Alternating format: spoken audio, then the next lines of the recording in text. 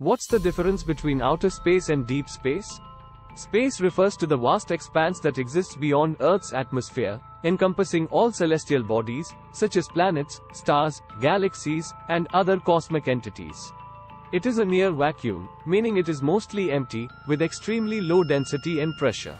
Space, outer space and deep space are used somewhat interchangeably in many contexts, but astronomers have come up with clear distinctions between them. So, what's the difference between them? Outer space and deep space are terms used to describe different regions of the universe, each with its own meaning. Outer space. Outer space refers to the vast expanse beyond Earth's atmosphere, where celestial bodies such as planets, stars, galaxies, and other astronomical objects exist. It starts approximately 100 kilometers 62 miles above the Earth's surface, at the Kármán line, which is the internationally recognized boundary of space. Outer space includes the region within our solar system, including planets, moons, asteroids, comets, and the sun, as well as the vast interstellar space beyond. Deep space.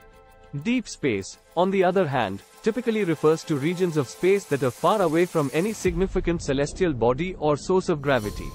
It denotes the immense distances between celestial objects and is often associated with the vastness of the universe beyond our immediate surroundings. Deep space generally refers to the regions between galaxies, where the gravitational influence of individual galaxies is minimal.